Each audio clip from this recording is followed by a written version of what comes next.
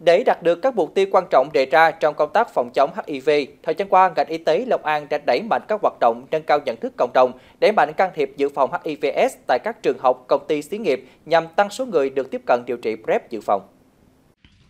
Trong 5 năm gần đây, tình hình lây nhiễm HIV trên địa bàn tỉnh Long An đang gia tăng trở lại và tập trung chính vào nhóm quần thể nam quan hệ tình dục đồng giới, đặc biệt là nhóm sinh viên, học sinh và công nhân lao động tại các nhà máy, xí nghiệp, công ty thuộc các khu công nghiệp. Do đó cần đẩy mạnh can thiệp trong nhóm này những người có nguy cơ cao mà chúng ta tiếp cận được thì chúng ta à, à, tư vấn và hỗ trợ cho họ điều trị gọi là điều trị REP, tức là điều trị dự phòng khi họ chưa có nhiễm HIV.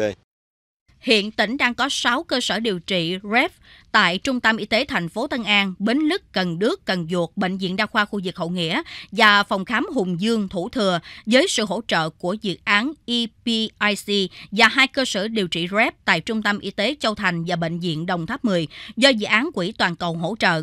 Tính đến tháng 11 năm 2023, toàn tỉnh Long An phát hiện trên 5.000 ca nhiễm HIV, số bệnh nhân còn sống đang quản lý trên 3.300. Dịch HIVS tập trung cao tại các địa bàn giáp ranh thành phố Hồ Chí Minh và khu công nghiệp dân cư đông như Đức Hòa, Bến Lức, Cần Đước, Cần Duột và thành phố Tân An.